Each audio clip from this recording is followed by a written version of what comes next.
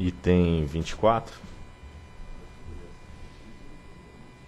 Processos 48.500, 31.62, 2011, 56 e 38.87, 2011, 44. Agravo interposto pela hidrelétrica Foz do Capão Grande, limitada, em face do despacho 261 de 2015, que negou o seguimento a pedido de revogação nulidade do despacho 3.999 de 2014. Diretor relator, doutor Tiago Corrêa, informa que a pedido de sustentação oral. Em 16 de 6 de 2011, a empresa hidrelétrica Foz do Capão Grande LTDA solicitou registro para desenvolver o projeto básico da PCH Foz do Capão Grande, situado no Rio Capão Grande, estado do Paraná. De igual modo, a empresa Renhofre Engenharia LTDA fez idêntico pedido no dia 25 de 7 de 2012. Os respectivos registros ativos foram concedidos para a empresa Foz do Capão Grande, mediante o despacho 3.187, e para a Renhofre pelo despacho 3.859 de 2011. Aqui acho que deve ser 2012, né? O pedido foi feito em 2012. Em 2 de 7 de 2014, a Renhofer requereu a inativação do registro da Foz Capão Grande por supostas omissões em relação à veracidade e ilegalidade das informações dos documentos apresentados com o projeto.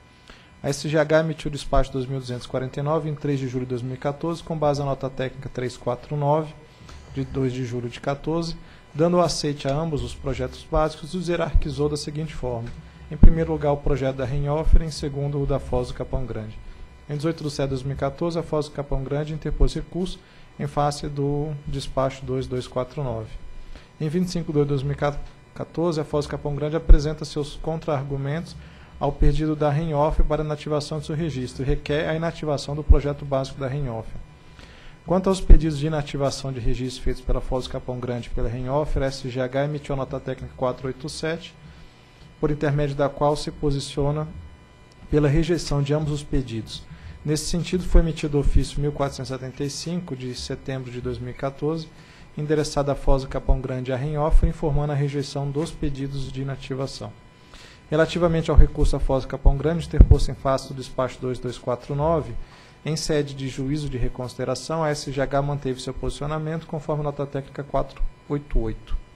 Tendo sido nesse sentido emitido o ofício 1476 de 10 de setembro de 2014, informando a manutenção da decisão Foz Capão Grande. Em 22 de 9 de 2014, o processo foi a mim distribuído. Em 29 de 9, a Renhofer foi recebida em reunião pela minha assessoria. Em 30 de 9 de 2014, a diretoria decidiu negar provimento ao recurso, tendo sido publicado nesse sentido o despacho 3.999 de 30 de setembro de 2014. Inconformada com a decisão, em 16 de 10 de 2014, a Foz do Capão Grande, com base no direito de petição, requereu a suposta ilegalidade e revogação nulidade do despacho 3999 de 2014, que havia rejeitado seu recurso.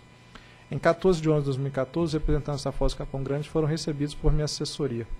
Em 19 de 11, a pedido da Foz do Capão Grande, retirei o processo de pauta da 49ª reunião pública ordinária. Em 24 de 11 de 2014, os representantes da Foz do Capão Grande foram novamente recebidos por minha assessoria, dessa vez conjuntamente com o superintendente e técnicos da SGH. Nessa mesma data, apresentaram documentos adicionais sobre a propriedade de terra, com vistas a suportar o pedido de revogação nulidade do, do, processo, do, do processamento. Aqui é um importante destaque porque esses fatos novos que aparecem aqui, que é a retificação da, do título de propriedade e, e, do mapa que faz o, a, o polígono para ver a área afetada, é, são apresentados somente após o trânsito em julgados. A gente já tinha decidido, inclusive, o recurso. Em 23 de 2 de 2014, a SGH, meu pedido, emitiu a nota técnica 691, versando sobre o pedido de revogação e nulidade por intermédio do despacho 261 de 4 de fevereiro de 2015, decidi monocraticamente não dar seguimento ao pedido de revogação e nulidade do despacho 3.999. Em 13 de 2 de 2015, a Foz do Capão Grande interpôs recurso em face do despacho 261 de 2015. E por intermédio do despacho de mero expediente número 1, de 26 de fevereiro de 2015, fundado no artigo 8 da nossa norma organizacional 18, é, neguei conhecimento ao recurso por considerar que o processo percorrera todas as instâncias administrativas e que não havia visto de ilegalidade. Determinei a intimação do interessado sobre o cedido no despacho e, consequentemente, arquivei o feito. Em 26 de 3 de 2015, recebi os representantes da Foz Capão Grande em reunião onde foram discutidas questões referentes à negativa do segmento do recurso. Na mesma data, foi interposto agravo pela Foz Capão Grande com o objetivo de ver analisado pela diretoria se o recurso é interposto em face do despacho 261 de 2015. É o relatório. Então, a sustentação oral será feita pelo Dr. Alberto de Andrade Pinto, representante da Hidrelétrica Foz do Capão Grande. O microfone, por favor. Está desligado. Obrigado. Vou bus buscar objetividade aqui porque a questão é extensa e já se, se arrasta aí durante a tarde, né? Eu gostaria de informar com os senhores que nós, ontem à tarde nós buscamos deixar memoriais informativos a essa colenda, que espero que tenham tomado conhecimento prévio, né? Sabemos que é um projeto pequeno frente à demanda dos senhores, é à frente de milhares de megawatts na agência, mas para nós é de suma importância, porque para nós representa uma vida inteira de trabalhos aí dedicados a esse rio e a esse projeto. É... Próxima. Numa linha do tempo, iniciamos os trabalhos nesse, nesse local da Capão Grande em 2002, no nosso estudo de inventário. Eu respondo tecnicamente tanto pelo estudo de inventário quanto pelo projeto básico, então eu posso falar com certa propriedade. Demoramos praticamente oito anos para aprovar o estudo de inventário. Ato contínuo, registramos os projetos básicos, é, entregamos esses projetos para análise em 2012, na agência. E estão aproximadamente três anos na análise, que é a fase vermelha ali. Eu assinalo um evento importante, além do estudo de inventário, que determina o aproveitamento ótimo e disponibiliza 35 megawatts para o mercado desenvolver projetos. Eu assinalo que nós obramos em 2012, tempestivamente, na compra da matrícula 4241. Essa matrícula é a nossa peça-chave de defesa e EILA, é, uma certidão de matrícula, é, gostaria até de manusear aqui, tempestiva, ela foi comprada essa área é, dentro da, do prazo regulamentar que o processo prevê, né? porém é uma matrícula que data de 1973, 6, então, as descrições dessa matrícula são descrições precárias. Vou ler um trecho aqui. Começa no marco 19, discerne cravado junto à margem esquerda do rio Reservas, segue dividindo por linha seca com a, com a gleba 4A, enfim. É, aparece aqui apenas duas citações de ângulo, 83 graus, são ângulos cheios, quer dizer, não existe precisão nessa matrícula que o cartório nos disponibilizou. No entanto, é a matrícula que nos atende, é a matrícula que cobre a nossa área alagada. Tá? Então, isso é normal, isso não é anormal, não. Todos os cartórios do Brasil têm essa precariedade. Né? Lá no Mato Grosso, o doutor Jorosa sabe que existem problemas de registro muito graves. Isso é comum acontecer. Então, é, a matrícula perfaz esse, essa situação geográfica. São três áreas envolvidas no desempate. Então, a, o desempate é uma questão extremamente simples, é, por maioridade de áreas. São medidas topográficas aí. A área de verde que pertence ao senhor eh, José Eduardo Rinofer, a área ver, vermelha que pertence a um litígio, hoje já está definido para o INCRA, para a comunidade quilombola Paiol de Telha, ou seja, uma área que nenhum dos dois poderia comprar, porque era um litígio, e a área em azul é nossa área. Né? O que chama atenção é que nós adquirimos uma matrícula de 87 hectares, veja bem, 87 hectares, para desmembrar 3,46 hectares, que é a nossa área em azul. Né? Então, ou seja, eu tenho grande sobra dentro dessa matrícula. Embora possa ser questionado alguma dúvida de perímetro, se eu puxar 100 metros a matrícula para a esquerda ou 1.500 metros para a direita, eu ainda vou ter os 28% de área alagada, que perfaz a maior área alagada do reservatório. É uma sobra gigantesca. É, em função disso, gerou-se um quadro com o nosso memorial descritivo à época, que aponta que nós teríamos 28,2% do reservatório. Portanto, é, maior área é, dentre todos os possíveis concorrentes. E é a única matrícula que possui imóvel no seu nome. Tá? Não, não existe mais ninguém com. A Rinhofer Energia não tem nenhuma matrícula no seu nome nesse prazo que nos foi dado inicialmente. Então, chama atenção para isso. Ainda, senhores, nós possuímos, vou repetir, 95% das áreas para implantação do empreendimento. 95%. É essa situação que eu coloco agora. Além de área alagada, nós ocupamos de comprar a área da barragem, a área da tomada d'água, do extenso canal, conduto forçado, câmara de carga, casa de força e os acessos, que só podem ser feitos, devido à topografia acidentada, pela margem esquerda.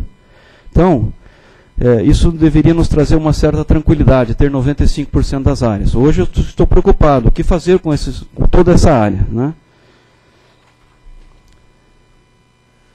Onde está o equívoco no processo? Para ser bem simplista. O analista da SGH ANEL, quando fez a análise de desempate, ele tomou uma decisão autônoma tá, de não considerar a matrícula 4241 no processo. Isso alijou-nos no, do processo. Né? Tiramos, fomos retirados do processo. Entramos, logicamente, com contestações. Tá? É, Lógico que a decisão de desempate em favor de Renault nos promove um risco de prejuízo de difícil e incerta reparação. Além do que, somos mais antigos no processo tá? e temos a maior área alagada em nosso nome. Né? E isso colide frontalmente com a orientação da Resolução Normativa 343 de 2008, porque ali consta um critério quantitativo para a solução de arcarização. Quem tem mais áreas. Então, desde esse ponto em diante, nós estamos tramitando com uma sequência de recursos, talvez seja um caso emblemático esse daqui, é uma sequência de recursos mesmo, tentativas desesperadas de que se considere a nossa fração alagada no processo de desempate. Então, é, eu gostaria de chamar a atenção para a tempestividade da documentação juntada. Nós entregamos, quando solicitados pela SGH ANEL, a nossa matrícula, nosso memorial descritivo, ainda que existe precariedade na matrícula, era um memorial, existia um responsável técnico, que é o, que é o, geo, o geomensor local lá da cidade de Guarapuava, e um desenho conforme exigido em ArcMap.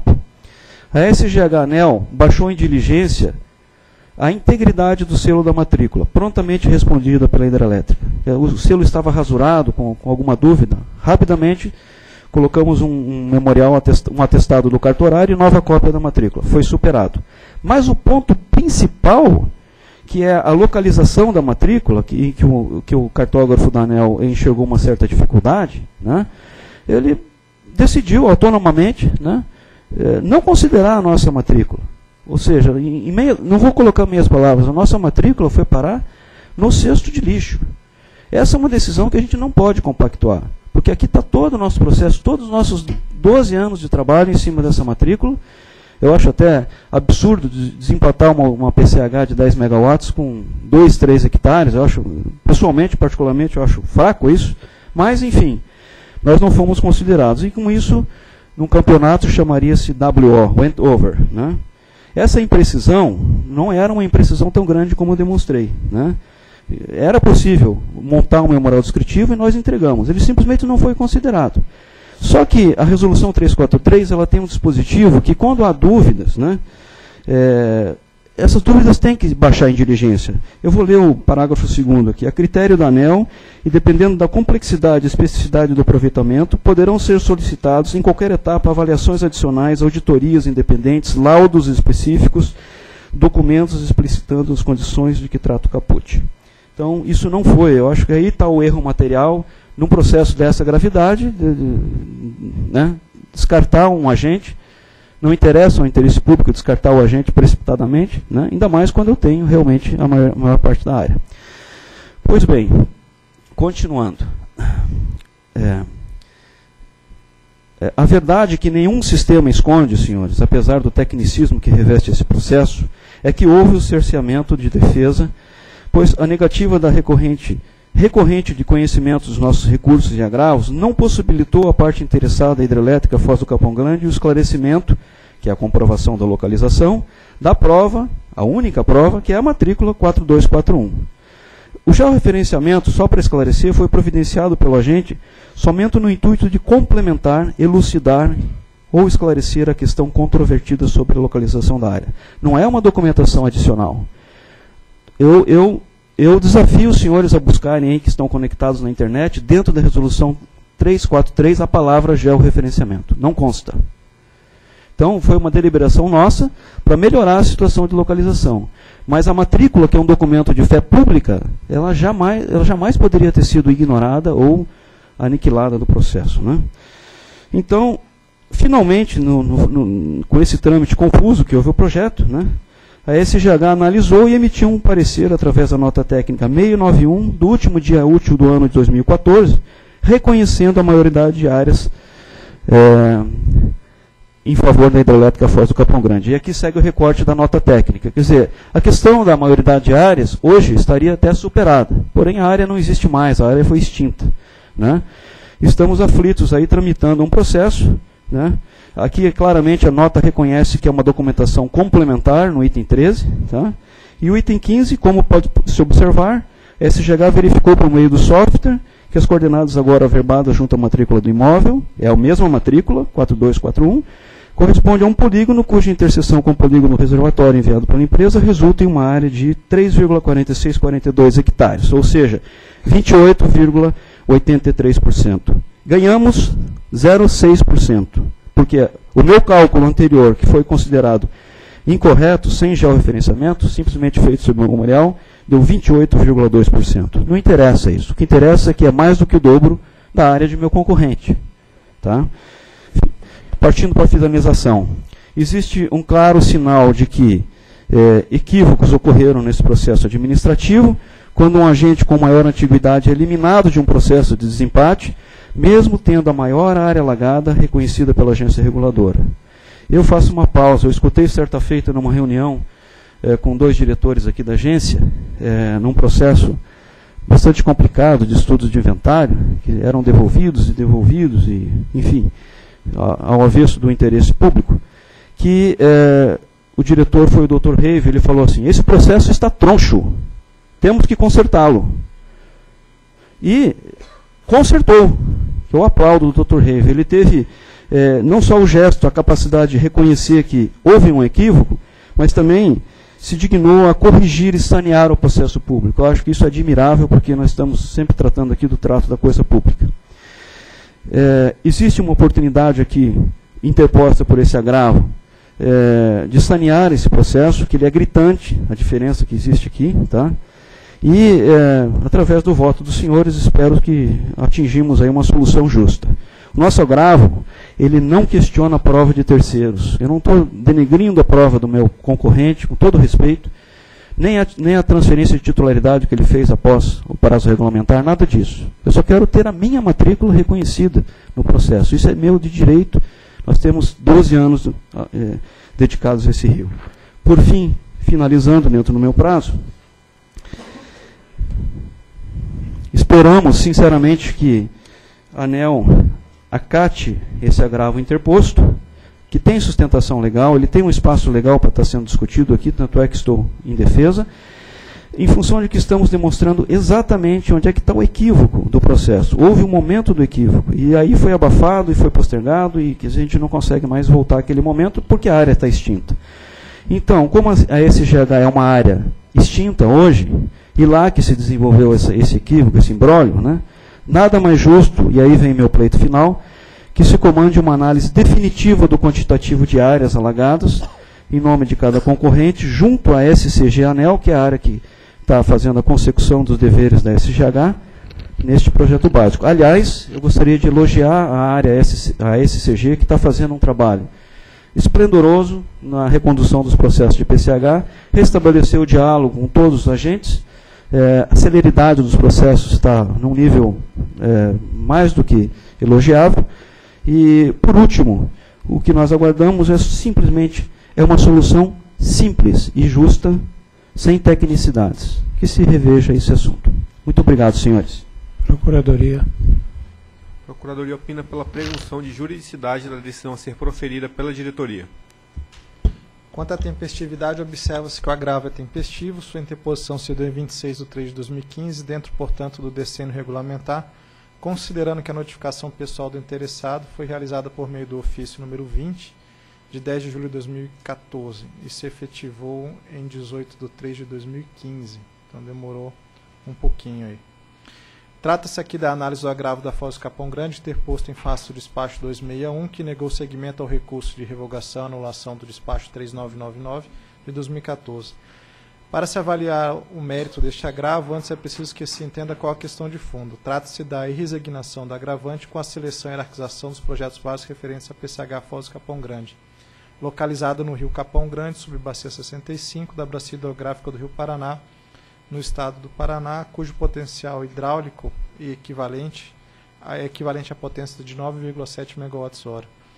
Como havia disputa entre os projetos da Renhof e da Foz do Capão Grande, a SGH foi obrigada a fazer a seleção e hierarquização dos projetos com base nos critérios constantes na Resolução 343 de 9 de dezembro de 2008, o que redundou na publicação do despacho 2249 de 2014, que definiu o projeto vencedor seria o da Renhofer. Desde então, a Foz Capão Grande vem incansavelmente manejando todos os recursos e meios administrativos possíveis com vistas a desconstituir essa decisão. É preciso esclarecer que a decisão da SGH, que escolheu o projeto da Rinhof em detrimento da Foz Capão Grande, teve por base o fato de que a documentação apresentada por essa última não estava em conformidade com o exigido pela legislação e regulamentação atinentes ao tema. Conforme dispõe o inciso 3 do artigo 11 da Resolução 348, como ambos os projetos receberam a CIT e um dos contestantes faltou do inventário do Rio, aí que ele alega exatamente o oposto. Né? Aí teria que checar. O critério de desempate entre os projetos passou a ser o de maior propriedade de terras atingidas pelo reservatório.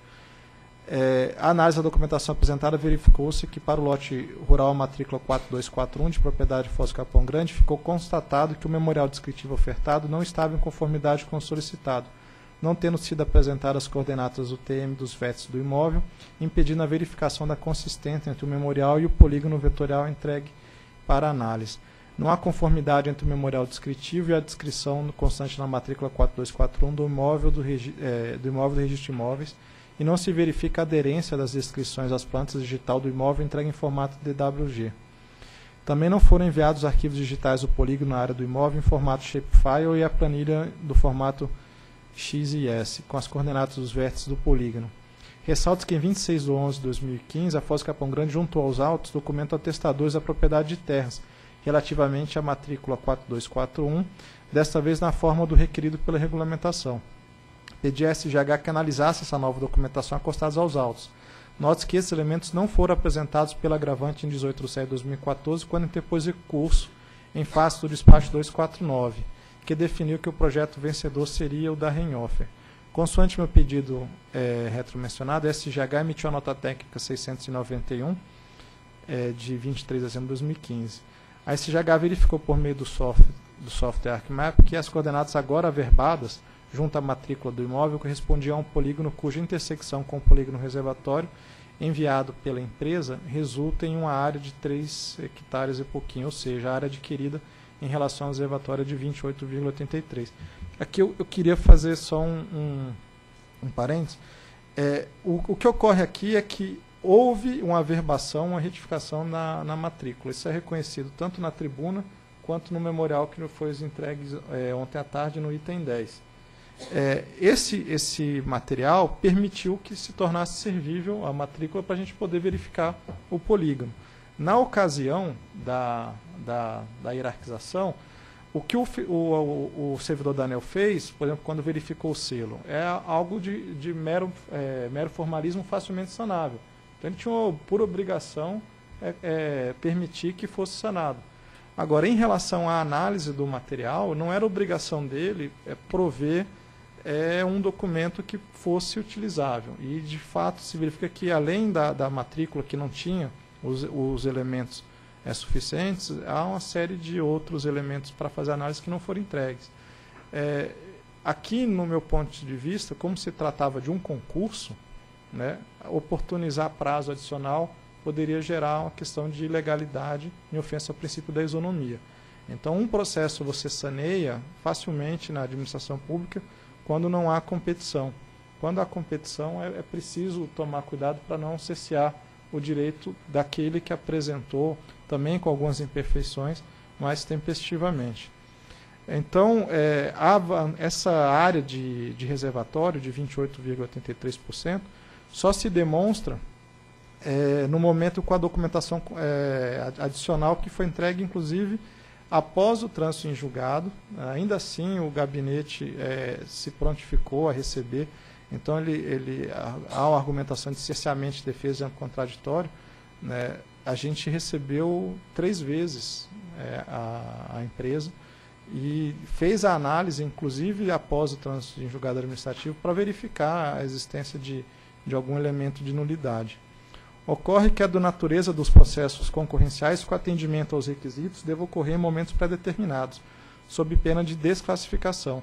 Não se pode manter um concurso como este aberto indefinitivamente, à espera das regularizações de interesse do empreendedor. O interesse público demanda celeridade na escolha do vencedor e, portanto, cabe ao interessado ser diligente e fazer frente às exigências regulamentares no termos e prazos estabelecidos. Nessa esteira, não prospera o argumento do agravante de que houve ilegalidades na decisão da ANEL, por estar comprovada a propriedade de terra dos 14 meses anteriores à efetivação do registro. Não houve ilegalidade alguma, ao contrário, a secundarização do projeto básico da Foz do Capão Grande se deu por absoluta vinculação da SGH à norma da Resolução 343 e à lei, a qual exige a comprovação da propriedade de terras, o que deve naturalmente ser feito no momento adequado. No caso, esse momento e forma foram determinados pelo ofício 1897, de 25 de julho de 2013, que solicitou que os documentos e arquivos neles listados fossem enviados até o dia 30 de outubro de 2013, considerando o previsto no parágrafo 1 artigo 22 da Lei 4947, da Lei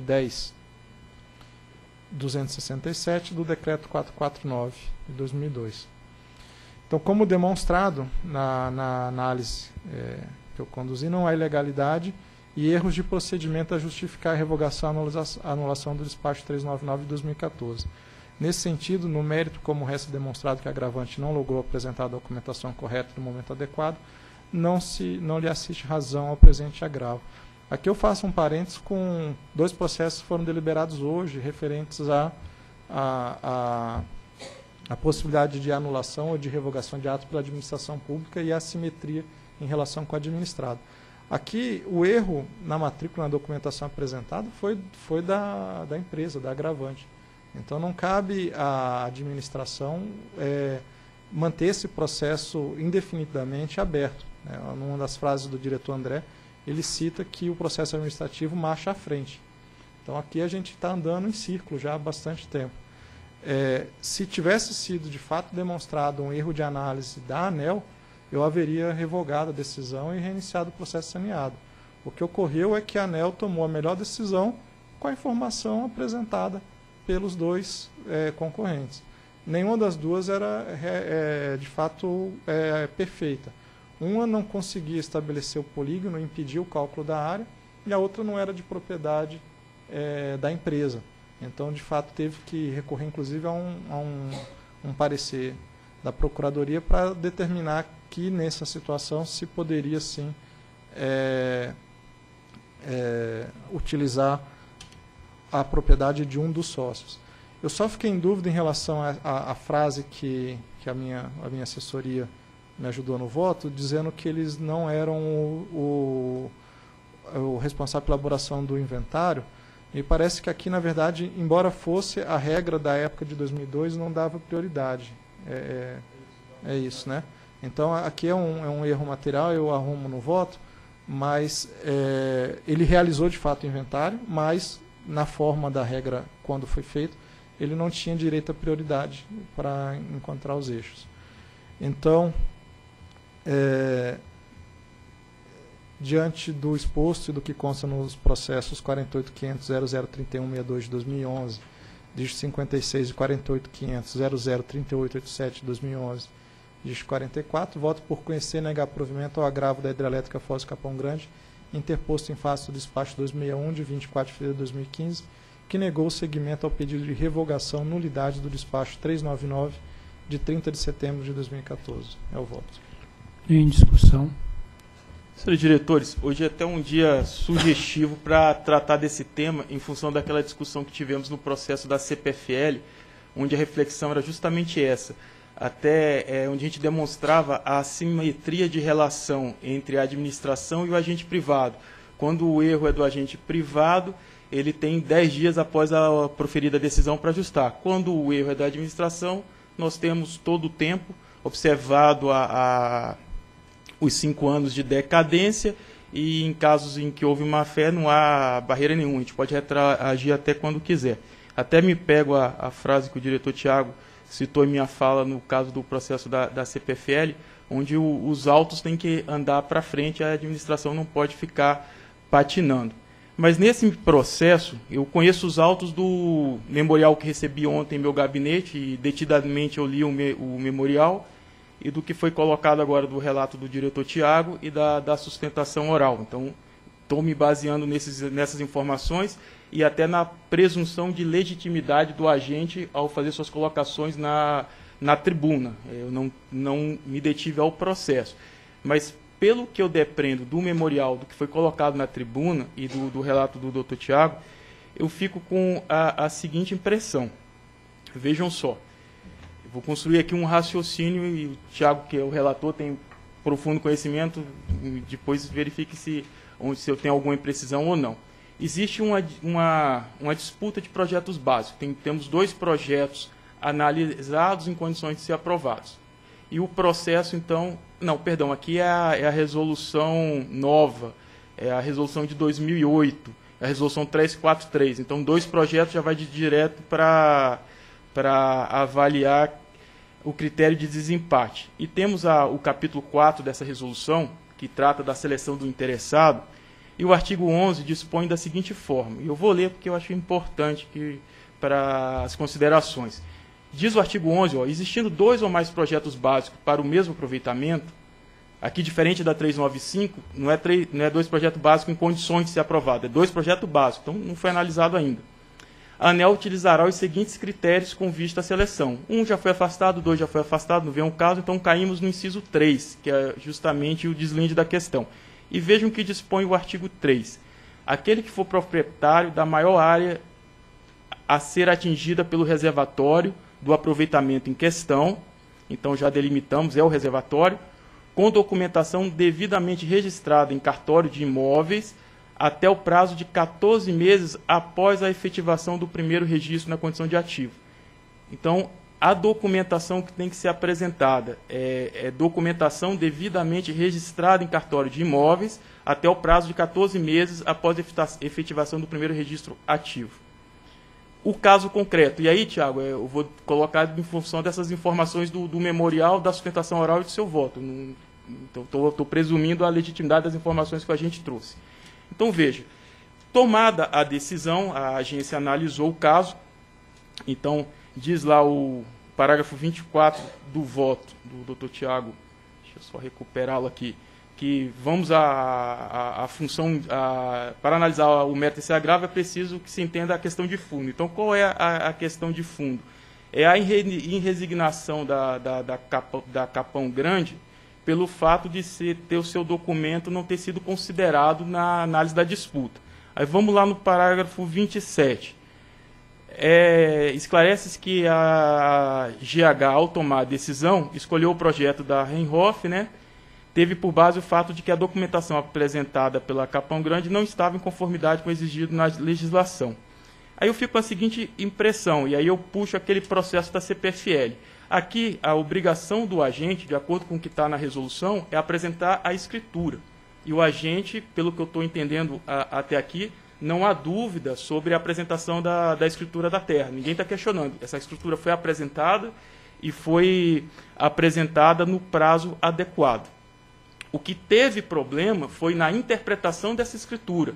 É quando a gente coloca a questão do memorial, memorial descritivo se houve problema na interpretação dessa escritura, porque a, o, a administração, ao decidir, e a, estamos decidindo um carro relevante, uma PCH de 10 megas, o documento foi apresentado.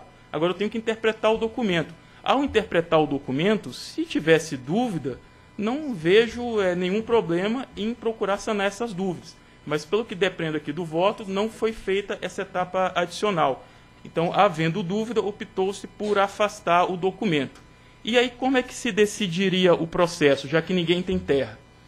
O outro concorrente o, apresentou a terra em nome do Eduardo José Rindolph, que, pelo que depreendo aqui do memorial que foi apresentado, esse, essa documentação não é do, do, dos sócios, não pertence aos sócios concorrentes da empresa, mas a, a que depois foi transferido para os sócios não observando os 14 meses a resolução nossa é clara, e aí, como é um caso de disputa, conforme disse o, tio, o diretor Tiago, Se existe regra, é mais importante ainda a gente se apegar às regras. E no inciso terceiro do artigo 11 está dizendo lá, com documentação registrada em cartório até o prazo de 14 meses após a efetivação do primeiro registro. E essa escritura foi passada em prazo inferior aos 14 meses. É isso, é isso que foi dito aqui, eu não aferi nos autos. Então, mas é o que foi colocado. Então, primeiro ponto, a regra já não foi observada nessa documentação. Particularmente, eu concordo com o que foi feito, porque se não havia documentação e a documentação é de familiar, de passar de pai para filho, de, ou de irmãos, eu entendo que não, não questiono esse ato da superintendência. Se eu fosse decidir, eu agiria da mesma forma, eu consideraria desse, desse documento. Agora, o que eu me, me apego e questiono os senhores é o seguinte: nós temos uma escritura que foi apresentada e foi apresentada no prazo. Eu, Anel, interpretei aquela escritura de forma equivocada. E depois, na, na, própria instrução dos autos, se revelou que eu interpretei de forma equivocada, onde está considerado que, de fato, aquela escritura, e aí eu vou me basear na apresentação do agente, que eu estou sem a nota técnica aqui, concede a ele 28% reservatório, enquanto o outro documento, que foi aceito em prazo fora dos 14 meses, confere à empresa 12%. A resolução é clara, é, ganha quem tem terra. Aí eu não estou conseguindo aqui avançar na linha de por que desqualificar a documentação do agente. Eu concordo com a, a consideração da, da, da, das terras, mesmo prazo inferior a 14 meses, é, é, relação de parentesco. Se fosse de terceiro, não, mas como é da própria família, é, é razoável de, de, se interpretar. Talvez a ferro e fogo não, a gente teria que cons, cons, é, avaliar com a procuradoria se está adequado ou não, se houve erro da administração em acatar essa documentação ou não é importante aqui uma, uma sustentação jurídica para avaliar se foi inadequado ou não. Agora, afastar a, a, documentação que foi apresentada aqui no prazo, a documentação legítima e no prazo hábil, eu fiquei com a impressão, posso estar enganado, que a, nós não soubemos interpretar a escritura, porque essa escritura nunca mudou. Ela foi apresentada no prazo, a escritura de matrícula 4241, esteve aqui e o problema foi na interpretação dessa escritura. Se o problema foi na interpretação dessa escritura, a gente incorreu em erro, e aqui é um caso, mesmo tendo decidido com interpretação errada, uma vez sanada a interpretação, que me parece que hoje não existe dúvida, não é isso? Que a escritura confere aquela titularidade de terra, a gente não está questionando se confere ou não confere, a escritura confere 28% do agente. Então, ao interpretar a escritura, a administração errou. Isso está patente nos autos. E se errou, num caso dessa gravidade, é, é tipo de autotutela. Eu não consigo assim avançar o porquê desqualificar a documentação. Porque quando, de fato, a gente poderia ter facilitado a interpretação da, da escritura, de matrícula 4241, assim como a administração, ao analisar essa escritura, ao ter dúvida, poderia ter diligenciado junto a gente para procurar facilitar o entendimento. Uma coisa é não saber interpretar, não diligenciar e afastar a escritura dizendo que ela não se serve aos autos. E depois lá na frente concluir, ah não, a escritura de fato está correta, agora está claro para mim. Mas o ponto principal da resolução, a resolução não fala em apresentação de memorial descritivo. Isso vem para ajudar a administração a esclarecer os fatos, mas o, o ponto crucial aqui é a escritura. E a escritura foi apresentada, ela não foi alterada, então assim, até que tenha outra evidência, fico com a impressão que esse documento é válido, deve ser considerado sim. E tenho dúvidas sobre a consideração, a legalidade da consideração do outro documento, que não observou os 14 meses. Então, é, assim, é um processo em que a gente está decidindo. Hoje, como é que está encaminhada a decisão? Está encaminhada a decisão por um documento que foi apresentado aqui, que não observou 14 meses, e a desqualificação de uma escritura apresentada no prazo por interpretação equivocada. Na, é, é, a leitura que faço. Na verdade, eu, a interpretação minha é um pouco diversa. O que ocorre é que a matrícula não foi alterada, a escritura foi. A escritura apresentada não tinha as coordenadas. Fazia referência a marcos que provavelmente tinham sido movimentados e fazia referência, inclusive, ao, ao rio Reserva, hoje ali chama Rio Capão. Então, é, não era possível interpretar, é diferente de não haver erro na interpretação. E o memorial descritivo apresentado também tinha incompatibilidades. Então, não é assim, tá certo, eu, eu concordo com o doutor Alberto de que esta é a realidade do cartorial do Brasil. Mas o esforço que foi feito depois e com a documentação que foi retificada e apresentada é, com, com retificação da, e averbação das coordenadas na escritura, teria que ter sido feito tempestivamente. Não adianta apresentar uma matrícula é, com o número no município que está localizado se é impossível situar aquela matrícula. Então, eu não vejo como interpretação equivocada. Eu vejo como ausência de elementos. Esses elementos foram trazidos aos autos. E a partir daí sim fica constatada a verdade material. Mas foi trazido aos autos após o trânsito em julgado. Então, mesmo que eu tivesse, por exemplo, lá atrás, o servidor Daniel tivesse diligenciado e pedido a informação, não teria na época, porque se tivesse, ele teria apresentado em sede de recurso. Essa documentação foi elaborada agora, isso ficou pronto agora. Então, ele não teria condições de demonstrar isso, mesmo que tivesse feito a diligência. Agora, essa é a minha interpretação. Eu fui bem sincero com, com, com o doutor Alberto que, é, na nossa última reunião, que ele deveria agravar se ele estava insatisfeito mas que eu já tinha exaurido a minha compreensão do caso. Né? E, Tiago, é, assim, é, que é um ponto vou questionar o procurador. A, a interpretação da decisão, até fruto de outros casos de análise de, de disputa, diz que tem que ser considerado um documento que dá posse e livre dispor das terras. Esse é o documento que deve ser considerado. E aí agora, diante da sua colocação, eu fico com, com dúvida. Assim, o documento apresentado aqui na data ele é a escritura que dá o livre dispor das provas para o agente e, de, e, teve interpretação errada ou esse documento foi trocado? Que aí é, é bem diferente. Se o documento foi trocado, ele não foi apresentado tempestivamente. Então, infelizmente, o agente, mesmo tendo o documento, não apresentou e agora não pode se beneficiar. Fala, ele falou isso aqui de tribuna e falando no próprio memorial dele. Aí a, a questão que, de, do plano de fundo é o seguinte: o documento apresentado ele estava correto e foi interpretado, até porque isso também depreendo dos autos aqui do que foi colocado pelo diretor Tiago. Está confusa o, no primeiro momento né, a, a explicação do agente para o documento apresentado e depois ele pode esclarecer, ou o documento de titularidade que dá posse e livre de dispor das terras foi trocado. Acho eu, vou, eu vou ler são, dois, são duas questões que a gente tem que avançar. Sei, Uma só... é essa e a outra é se é possível também acatar a documentação com prazo inferior a 14 meses. Eu vou, eu, eu vou ler aqui o que ele diz. Apenas a regularização da documentação cartorial retificação da, da descrição da área da matrícula do imóvel junto ao cartório de registro de imóveis competente das áreas de propriedade ocorreu em momento posterior. Então, isso ele admite, e isso é o que a, constata a área quando ela diz: olha, agora, com essas coordenadas averbadas, eu posso analisar. Então, a área técnica ela reconhece após a averbação, retificação da escritura. A matrícula de fato não se altera, porque o imóvel é o mesmo. Isso é, é necessário para demonstrar. Mas a escritura, a descrição daquele imóvel, não era só o memorial descritivo. Na própria escritura da matrícula, era impossível verificar. Em relação ao outro, eu não tenho certeza se o outro é, foi com, com, com 14 meses ou não. O problema do outro é que era da propriedade do pai.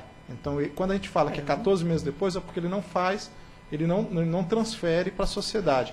Mas isso foi objeto de parecer específico da Procuradoria doutor André, a gente analisou só a questão da Reinhofen, a gente afastou esses 14 meses porque ficou comprovado nos autos que quem era proprietário era pessoa física e não pessoa jurídica. Então, com base no princípio da razoabilidade e, e ah, naquela, foi analisado. Foi analisado, então a gente afastou, mas quem tinha propriedade nos 14 meses não era a empresa, e sim a pessoa física. Mas era o pai, né, do, do membro da empresa. É, era um sócio. O sócio. O sócio. Não sei se era o familiar. Agora, com relação à validade desse documento dessa outra empresa, a gente não teve oportunidade de analisar essa validade. Mas a Procuradoria tem precedentes que, nessa disputa, nesse tipo de disputa, o critério de seleção é puramente quantitativo. Né? E a regularização da documentação cartorária ela é um aspecto secundário para a seleção. Né? Nossos precedentes são, são esses. Eu até, eu até queria fazer uma colocação justamente nesse ponto que eu acho que a única coisa que foi feita no cartório foi clarear onde que era, é, onde que eram os pontos de divisa. Nada mais do que isso. Porque o, o documento original, ele era um documento é, que, não, que não dava essa, essa consistência. Quem teve propriedade rural sabe que às vezes você não. Hoje, hoje já são obrigados a ter tudo, tudo já referenciado, mas antigamente era isso daí. Passa pela, pela, cerca tal, vai na árvore tal, e era assim que era. E no Mato Grosso é bem assim, entendeu? Eu sei porque lá é assim. É, e de fato não dava condições, talvez, da época, a área fazer uma análise mais profunda. Ninguém está dizendo isso. Mas é, é, entendo que Em momento nenhum ele trocou documento, Tô comprou certo. área, é, mudou a posição da área. Não, na verdade só clareou. Eu acho que isso que o, que o, que o procurador colocou, eu acho que é um ponto bem importante. É, é secundário essa, é- essa questão do, de- de- de- do aclareamento. Quer dizer, na verdade, proporcionou que realmente pudesse fazer uma análise. Eu acho que é, é, a gente é, avançar sem, sem essa análise é bem complicado. Né? Eu, eu fico bem. Sem ter essa segurança, né? É.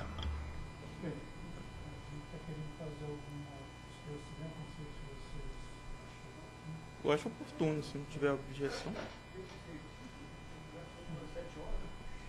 Agradeço, doutor Romeu, ser muito breve aqui.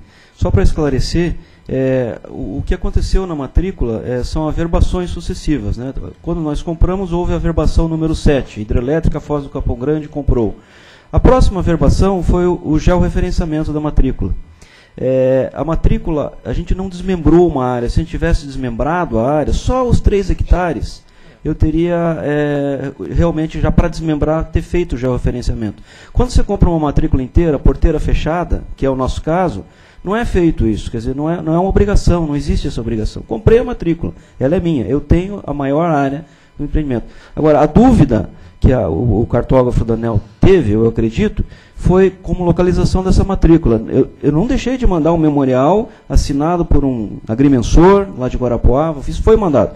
Só que o memorial foi construído em cima dessas, desses rumos precários aqui. É lógico que isso fica um pouco impreciso. Quanto? 10 metros, talvez. Né? Faz margem com o Rio da Reserva, que continua chamando o Rio da Reserva. Sim, faz margem.